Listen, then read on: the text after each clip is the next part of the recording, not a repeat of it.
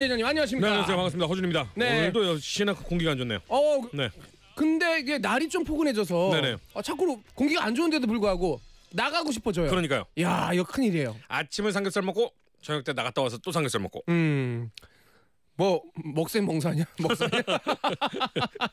아니 근데 진짜로 네. 이제 봄 기운이 완연하잖아요. 아, 그렇죠.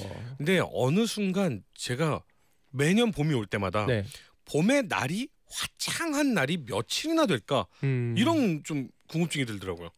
그러네요. 진짜 봄 동안 몇 번 안 떠요. 맞아요. 네. 그, 그 예전에 이제 황사라 그랬었는데 네네. 그런 이제 황사라고 하기엔 좀 그렇고 이제 다 그런 것들을 합쳐서 미세먼지, 그렇죠. 먼지로 네. 이렇게 아 얘기를 하는데 야 점점 심해지고 있습니다. 너무 걱정입니다. 네, 매일 매일 그 긴급 문자가 오잖아요. 네네네.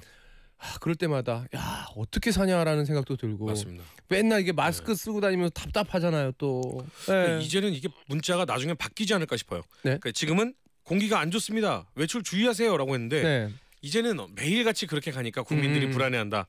오늘은 공기가 맑습니다라고 할 때만 문자가 오지 않을까 이런 걱정이 들어요. 괜찮아요. 네. 그런 거 괜찮은 것 같아. 왜냐면은 자꾸 안 좋은 것만 계속 보내니까 그런가? 아 진짜 안 좋구나 막 이렇게 고민에 빠지고 막 시리에 그렇지. 빠지고 막 그렇게 되는데 아 오늘 공- 공기 좋아. 야 그러니까. 그러니까 나가자. 야 문자 왔다 이렇게.